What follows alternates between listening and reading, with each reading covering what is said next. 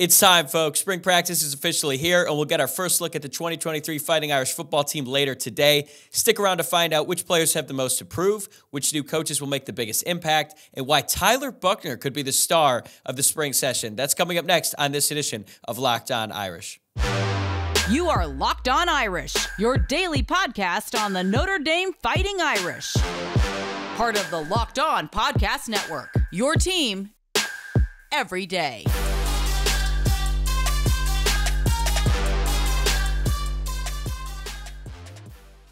What's going on, and welcome to Locked On Irish. It is Wednesday, March 22nd, and thank you for making this your first listen of the day. As always, you can watch the show on YouTube, and if you are watching along, please like the video below and subscribe to the channel. If you're listening to the podcast, please take a moment to rate the show five stars and subscribe there as well. My name is Tyler Wojciak, and I am the host. I'm a Notre Dame alum and have been a diehard fan for my entire life. I've been podcasting about the football team since 2020, and I'm also a producer for the college football talent at Fox Sports in LA.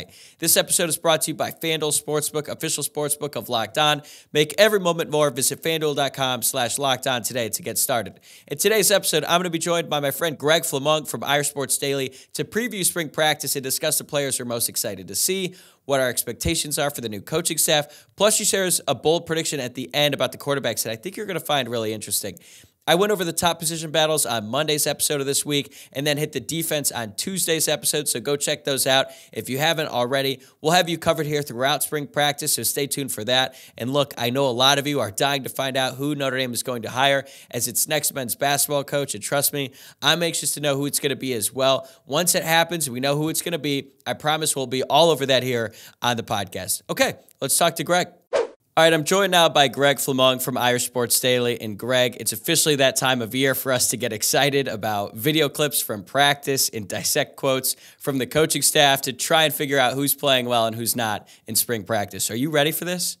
Uh, you know what? I would love video clips with the access that we get, and video clips would be so welcome. Please send as many as possible. Yes. yeah, we'll take what we can get. So, putting that aside, which players do you think have the most to prove over the next four to five weeks? Um, all right, so we can start on offense. Um, I think one is Lorenzo Styles. I think uh, just given the way last year went and the way last season ended, I think he he probably feels like he he needs to start off on a better foot.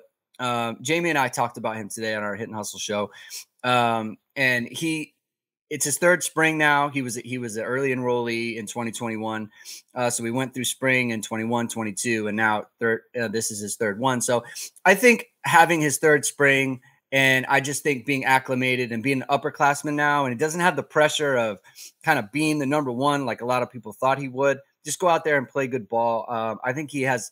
I think this is a big spring for him. I think he's going to do really well. And the other one on offense I was kind of thinking about is Chris Tyree because I think a lot of people like you know I think Audric Estime has has his role. I think Logan Diggs has his role. A lot of people are excited about Jadarian Price. You know to get him back out there and see what he can do. And you just kind of wonder, you know, Chris Tyree, like, what's his role actually going to look like again? Is it going to be the same as last year, where he's just kind of a pinch hitter, getting seven to eight carries? Is going to be more in the slot? Is he going to be more, you know, is it going to be more wide open when he's out there? And a lot of that has to do with uh, Sam Hartman and whether or not gonna, they're going to be in a little bit more 10 personnel, a little bit wider uh, spread out the field, a little bit more. Um, and I think that's you know spreading the field is where he's going to be able to operate the best because he doesn't do uh, so good in traffic, right? He doesn't. You don't want a ton of bodies around him. You want him to be spread out. You want him to have a lot of open space to work. So I think those two guys um, offensively, I think those are the ones that I'm thinking about need to have really good springs. Yeah, I agree with you. And isn't it weird how last year at this exact same time, both Styles and Tyree were coming off maybe both their best games of their career yeah, in yeah. the bowl game and the Fiesta Bowl. Now we fast forward a year later, and now we're looking at them like, where do they even have a role on this that's, offense? That's a really good point. Yeah, that's good. It's point. weird how it plays out. What about on defense? So I was thinking of someone who is kind of a reserve. So uh, I think the will linebacker spot was obviously a, kind of a sore a sore one for Notre Dame last year, and I think a lot of people are thinking about Marist Liufau, but I'm thinking about Prince Kollie. Um, I think that he a lot of people wanted him to come in and replace Marist um, at the will linebacker position. And he got a good amount of snaps last year and not a ton of production, right? Especially when it wasn't a situation where he was asked to blitz, right? Like if he was given a role, it's like, hey, blitz the A gap or or shoot this uh, run stun or whatever it is. Like he looked good in those positions um, when it was like, hey, not a lot of reading, reacting, that sort of thing. But when it was that, when he had to read and we had to react, there wasn't a lot of production there. And I think that you know he it took him a little bit to pick up the defense, which is understandable, right? It was a new defense um, coming from you know a different uh, defensive coordinator and that sort of thing. And it was his first time getting a like real good look on the field. And so you know it, it's not unheard of that a player, a young player like that, wouldn't you know be as instinctive or be as comfortable as you would think. But I think going into this spring, I think you want to see more of that and more of it from a uh, just a base defense, reading, reacting. Uh, seeing it, hitting it, and being a playmaker in that spot, I think it's a really big a big spring for him because there's been a lot of there's been a lot of talent that's brought into the linebacker position. Um, I think Jack Kaiser could play that spot. Drake Bowen is there. Uh, could, could you move? Uh, could you move JD Bertrand over there if someone wants to play the Mike? Uh, obviously, Marist Liufau is already there. Um, you have uh, Jaiden Ausberry who could be a will. Like so, there's a lot of influx of talent uh, I should mention uh, Nolan Ziegler as well. Also, could be a, a, will if if he bulks up. So there's a lot of options there, and you don't want to be in a situation where younger guys are starting to press for time because once those guys get ahead of you, it's really hard to get that back if they're younger. So I think for him, I think this is a really big spring. Yeah, I like your point about Kollie, and it's funny because we as fans it's hard to really understand when a guy who has all the traits, who's athletic as hell, when they're not seeing the field because they don't like they don't understand the defense yet and they don't know how to read and react properly it's it's a lot harder to swallow when they're like, man, I wish they were out there. If you know, you see someone like JD Bertrand or whoever like misses a tackle or they can't get to a spot. Yeah. But then the coaches who are with them every day in practice, where they're you know in the completely wrong spot and give up an open gap, and then someone goes, it's just like a different thing that we just don't see every day. But I'm hopeful that uh, Kollie's able to step up. He's at, he's got a couple years under his belt now, so this is a big opportunity for him. So we talked about some guys who've been around the team for a little bit. We've also got a bunch of newcomers on the team as well that we're going to see for the very first time this spring in the Notre Dame uniform. So, which early enrollee are you most excited to see? Uh, all right, let's go back to offense. I mean, I think, well, I, I don't know if it's uh, a certain one on offense. I think the trio of receivers that are on campus right now. So, Rico Flores, uh, Jaden Greathouse, and Braylon James. Like, I think one of those guys, I think one of those guys is is probably going to stand out more than the others, just as a you know, th- that's just those are the odds, right? One of them yeah. will stand out, and I'm I'm curious to see who it is, right? Like Jaden Greathouse comes from a great program in Texas at Westlake High School, and winning state championships and that sort of thing. And I think coming from a program like that, he's he's really prepared physically and mentally to come in and be competitive. Um, Rico Flores is has a is a really good route running background. He's he's a, been a really good route runner. And there's I think there's opportunity for him in the slot. Um, but he had a foot injury as well, so he's coming off of that. Like, where is he at with the foot injury? That's going to be um, kind of an open question. Uh, curious to see how that works out for him. And then Braylon James, right, the the super athlete, right, sprinter, hurdler in high school, got that long speed that everyone wants. Um, very dynamic player. You know, can he can he forge a role in in that spot? Um, just as a as an early enrollee, right? Because anytime you can get speed out there, right? We've seen it multiple times, right? Chris Brown, uh, Will Fuller was one. He he got out in there as a freshman. Um, so you know, Kevin Stepherson was another guy who just came in. You didn't know where he was going to be, and suddenly he's he's toasting guys in practice. So I think those are those are the guys on offense, and I think defensively, I'm really excited to see. Um, you know, a couple guys again. Drake Bowen is one.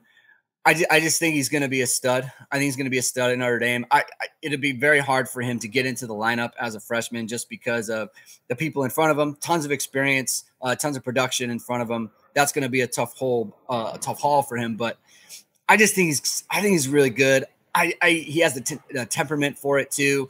Like to me, future captain, three year starter. I would not be surprised if he was pushing for starter reps next year. Um, so I think he's going to be really exciting. Excited to get him on campus, and then Christian Gray. Uh, I, I, just think there's a there's a role for a, a, nickel, and can he win it? You know, can he put himself in a position where, hey man, I, I can cover guys. I'm I'm I'm sticking on people, and we know that this staff, if they see a freshman corner who can stick to people and is is doing well in the coverages and understanding the defense, they'll put him out there, right? They put Jaden Mickey out there, they put Ben Morrison out there. So this staff is not afraid of that. So uh, it, those are the guys that I'm, I'm thinking about uh, as we go into it. Yeah, they're certainly not afraid to put Mickey out there. They put him out there in the season opener against Ohio State on an island in a safety blitz in a blitz. But I want to go back to the receivers real quick. You mentioned mm-hmm. Braylon James is a super yeah. athlete. You're a track guy. You've yeah. seen him run. Is he is he really that special? Like what do you see from him? It's it's it's for me, it's more that so he's a hurdler, right? And and and another famous hurdler was Ted Ginn. Ted Ginn Jr., who who went to Ohio State. Now this yeah. was obviously in the early aughts, but I saw him play in high school believe it or not, in Cleveland okay. a long time ago. Him and Troy Smith were on the same high school team, and they actually both kind of played quarterback. And I think the two of them combined for like 800, yard, 800 total yards because they also returned kicks and punts, and it was crazy to see. So I'm, I'm familiar with Ted Ginn. Yeah, so that's that's long speed, body control as well. I mean, when, when you when you're sprinting like that, and he's a bigger guy. It's not like he's short, right? So you're a bigger guy sprinting full speed like that, getting the legs going and then being able to jump over the hurdles, right? Like that's difficult, right? You're sprinting and you're jumping over a barrier, right? That's very difficult. So uh, there's a body control element to that. So I think that's real. I, I think I definitely do. I, I, think there's a speed element to him that is a little bit different than um, pretty much everybody else. Um, so yeah, that's uh, that's what I think about Braylon James. Yeah, I, I think it might be some time before we see him on the field on a consistent basis. Whereas Greathouse, right. like looking at the receivers, I kind of look at it as what does Notre Dame need the most? Like Braylon James is probably going to be behind Tobias Merriweather in terms of like athletic ability, someone who you throw the deep ball to. Merriweather's yeah. been around for a year. He's a little bit more polished and developed by now. But I feel like Notre Dame was is going to miss that possession guy that they can go to on a consistent basis without Michael Mayer. And I think that's actually where Jaden Greathouse might fit in. He's really good at contested catches. He's big. He's physical. And even though he's technically should still be in, a senior in high school at this point in time, I'm really high on him going into this year. Now you mentioned Drake Bowen if he if Drake Bowen is able to compete in like just for rotational reps at linebacker this year, given the people that are in front of him, that might be more impressive than any other early enrollee, even if he doesn't really see the field much, just cracking the rotation alone, don't you think?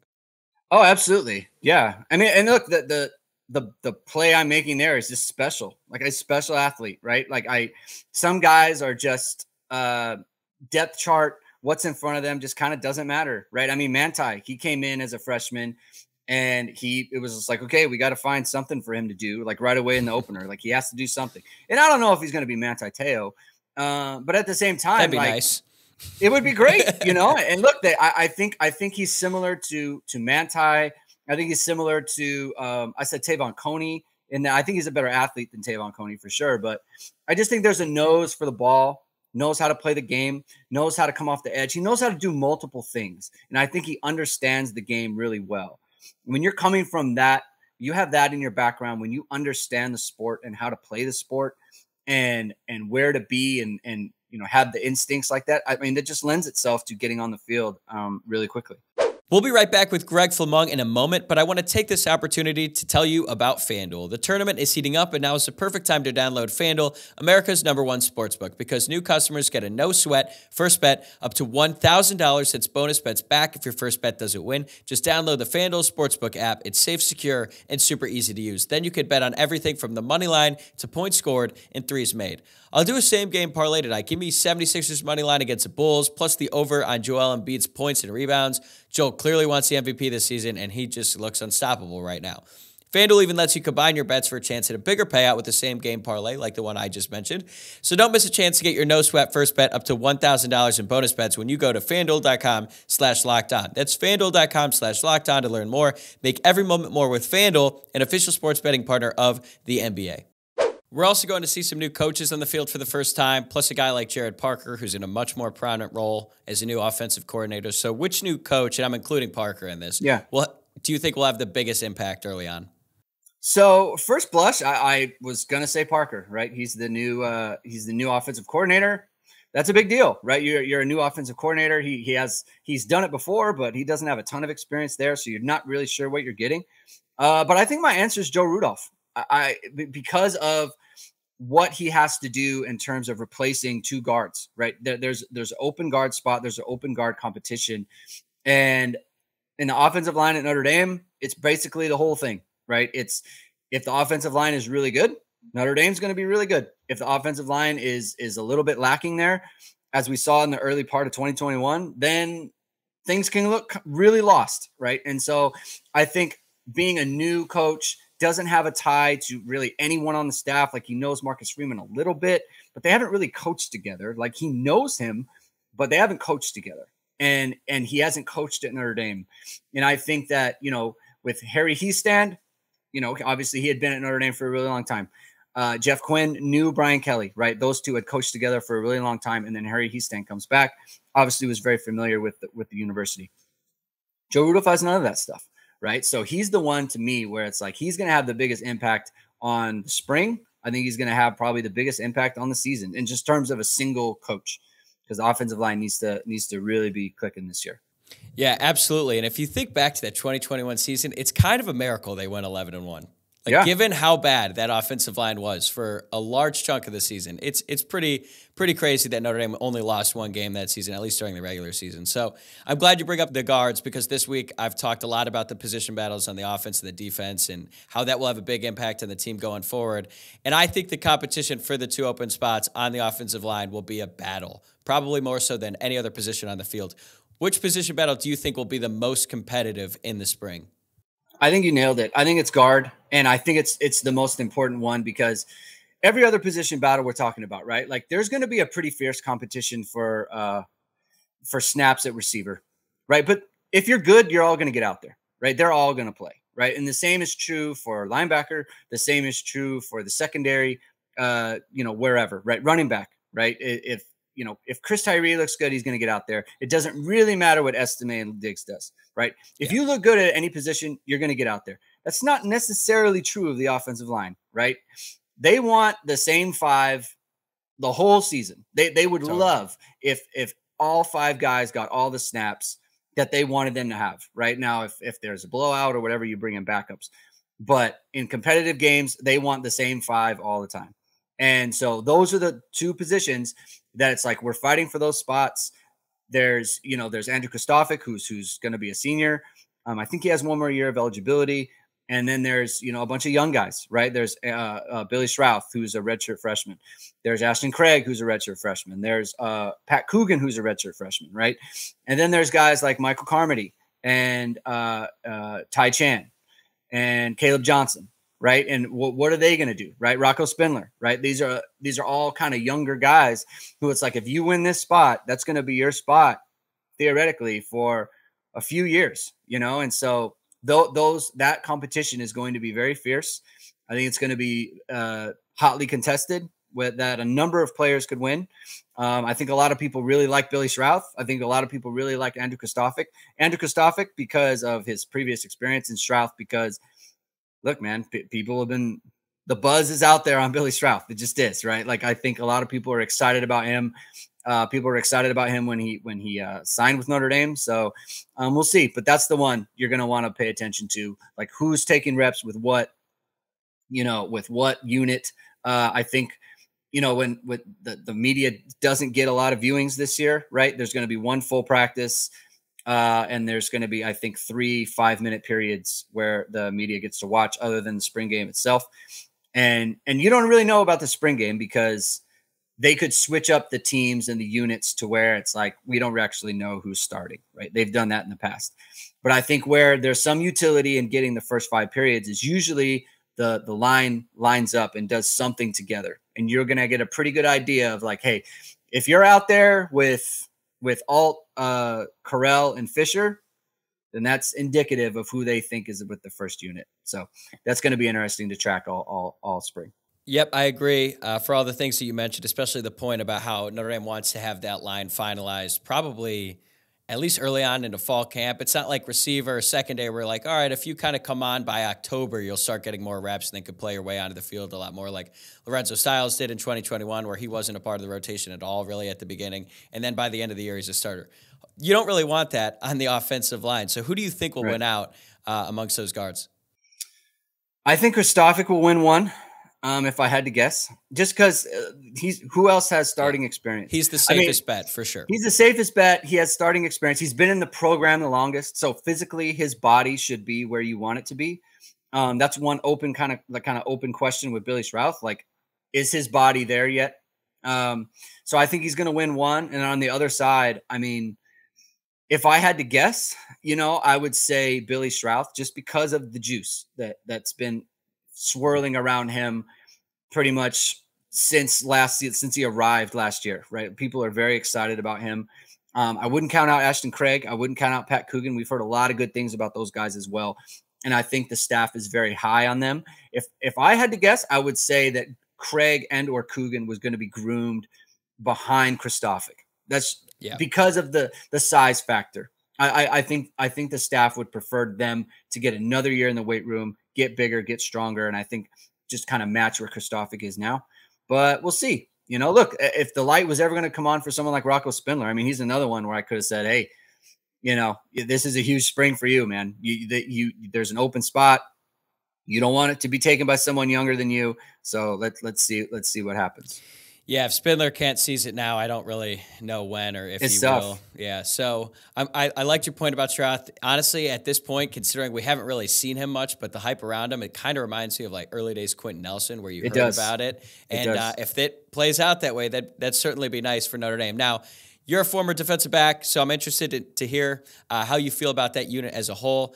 I feel like the starting cornerback tandem might be the best Notre Dame has had in a long time with Ben Morrison and Cam Hart once Hart is healthy. But personally, I'm a little bit I'm a little bit concerned about the safety position. I know you really like Xavier Watts, but how do you feel about the back end of the defense heading into spring? I uh, love the corners. This might be the best corner group Notre Dame's had in, in a really long time. A really long time. I mean, I I hesitate to say like ever because I'm probably forgetting some guys or you know discounting. I mean, in recent memory, right? I mean, I think it's like top end. I think I think Ben Morrison and Cam Hart are two NFL players. I think Ben Morrison is a potential first round NFL pick, which hasn't happened since I think Tom Carter. Uh, wow. you know, Bobby Bobby time. Taylor. Bobby Taylor was a second round pick. Um, Tom Carter was a first round pick. Jeff Burris was a first round. So I guess Jeff Burris in '94. Uh, he he went at corner. So I mean, we're talking like mid mid 90s that we're talking about last time Notre Dame had a first round pick at corner. Um, so it, it's just like I think I think those guys have have that potential. Um, I, someone I'm, I I think is lurking is is Chance Tucker. I think there's something there. I think that he has a chance to forge a role in the secondary. Um, it's not a name that people. I think if if people saw him enter the portal, I think people would not be surprised by that. But I think I think there's something there with him. I think he's long. I think he's tall. I think he can run. He has a track background. He was a he was a COVID guy in California, right? So didn't play didn't play fall football in, in uh, 2020 and and but you know four game spring or whatever and it just didn't really work out for him. I think there was a development piece that got missed with him. And so i think he's going to be a late bloomer I, I, think there's something there. So if if you're thinking about someone to watch in the secondary i think i think chance tucker is that guy. That's really interesting. Uh, clarence lewis is another wild card in that group. He mm-hmm. started six games as a true freshman in 2020, and everyone everyone was really high on him at the time. He was getting KeiVarae Russell comparisons, but he hasn't really taken that leap that a lot of us were hoping for. And now he's been passed up by sophomores like Ben Morrison and even Jaden Mickey, really. And I'm not really sure where he fits in anymore. Is he going to be a reserve corner? Is he a nickel? Could they even move him to safety? How do you think Notre Dame should utilize him this year? Uh, I think this as a swing player, I think that's a good role for him, and I think he had a bit a bit of a bounce back last year, similar to similar to Tariq Bracy in twenty one. That a post you know the twenty twenty season when they had to they had to pull him from the lineup for Clarence Lewis, right? Like he Tariq Bracy just got lost, had to had to get him out of there. In 2021, he had he had a better year, and then 2022, he had he even built on that. And I think that's possible for Clarence Lewis. Um, I, I think I think last year was a bounce back year for him. He wasn't great, but he wasn't awful either. You know, he he did some solid things. He had he had a really good game against Ohio State. Uh, I thought he had a really good game against Cal. Right, so he had some good moments there. Um, and I and I think that as a as a as a as a possible nickel, as a possible you know replacement at, at, at, the field or at the boundary. You know, there are some matchups that I don't like for him. Right, if he's on the boundary, if you want him impressed, I don't like that. Right, that he's not that kind of athlete. He's not as comfortable turning and running like someone like Ben Morrison is. But if you can get him in off coverage, you can get him in the right matchup. I, I like him over there. And look at I, you know, people talk about him at safety. I don't hate it, right? I think there's I think there's something there. I, I it's one of those things where I don't I don't like him as a full time guy because I don't think he has the suddenness. I don't think he has the urgency as a safety. Um, but uh, for someone who it's like, hey, if if Clarence Lewis is in the game, I'm not freaking out, right? I'm not thinking, right. oh, I don't know about this, right? Where I think that you know that there were times that with Jaden Mickey last year against USC where it's like that that scares me a little bit. You know, when you when you feel really uncomfortable. I don't yeah, really feel bit. like that with Clarence Lewis. trying to be fair, trying to be fair, but I, I, I but I, I, don't think that's the case with Clarence Lewis. I, I think if they put him out there, they can expect good play from him. Not superstar play, but good play. Yeah, and I think TaRiq Bracy should give us all hope that someone can really blossom late in their career. And especially Lewis, like he's stuck around. He could leave, or he could have left already by now. I think the fact that he's going back for spring practice shows that he's going to be around for this season. All right, on the way out here, give me a bold prediction that we can revisit after spring ball, and then we can decide if you're a genius or not. Bold prediction Tyler Buckner is going to have a huge spring. That's my bold oh, prediction. Oh, I, I think I that he that. is. I think he is going to be freed up by Sam Hartman being on the roster. I think for him, it's like, hey, I'm not trying to win a job. I'm not trying to. It's not my first uh, spring since I haven't played football since my junior year of high school. I'm not trying to win a job. I'm not trying to look any certain kind of way. I'm just going to go play ball. I'm going to go make plays. I think that's his style of play. I think he needs to be a playmaker. Don't worry about making mistakes because you have someone ahead of you, right? Test the limits, test your ability, uh, I think he's I think he's got great ability. I think he was brought in to be a certain kind of player, and I think with Sam Hartman there, I think he's going to play free, and he's going to look good. I, I think he's going to be the talk of the spring. I really do. I like that. Do you think he'll be good enough to sort of force his way onto the field in some capacity?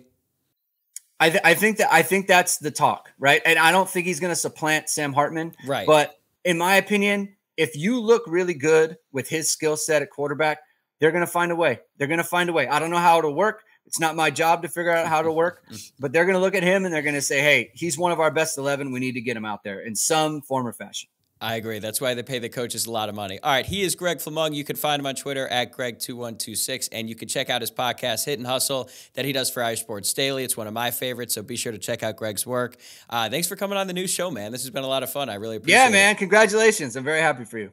That's going to do it for me today. Thanks again to Greg, and thank you for making this your first listen of the day. Remember to subscribe to the show on YouTube or wherever you get your podcasts. Like the video, rate the show, you know the deal, and give us a follow on Twitter at Locked On Irish, on Instagram at Locked On Irish Pod, and my personal Twitter account at Tyler Wojciak. That's at Tyler W O J C I A K. For your second listen, check out our brand new podcast, Locked On College Basketball. Experts Isaac Shade and Andy Patton bring you everything you need to know on and off the court. Plus, hear from big name experts, coaches, and players throughout the basketball landscape. That's Locked On College Basketball, available on YouTube and wherever you get your podcasts. I'll see you guys tomorrow.